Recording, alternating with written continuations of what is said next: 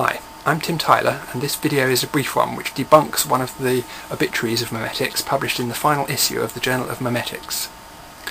Richard Dawkins proposed tracking the health of memetics by counting citations of the idea in learned journals in the selfish gene.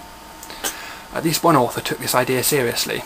Bruce Edmonds produced some research along these lines in a paper entitled The Revealed Poverty of the Gene Meme Analogy, Why Memetics per se has failed to produce any substantive results.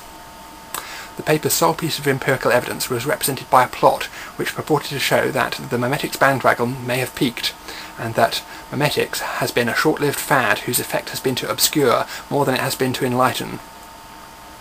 The plot drew on data from Google Scholar, and appeared to show that mentions of the term memetics had peaked in 2001 and then gone into precipitous decline.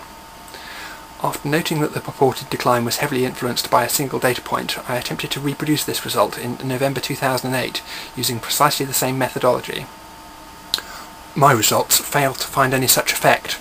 Rather, papers mentioning memetics by name have increased in volume monotonically year after year between 1990 and 2006. Comparing our results gave a clue about what went wrong. The author obviously failed to correct for the paucity of recently published papers that are indexed in Google Scholar.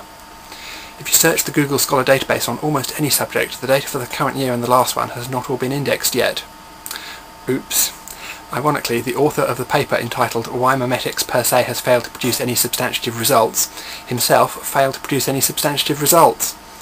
Anyway, I'm happy to say that the death of memetics appears to have been greatly exaggerated. Enjoy!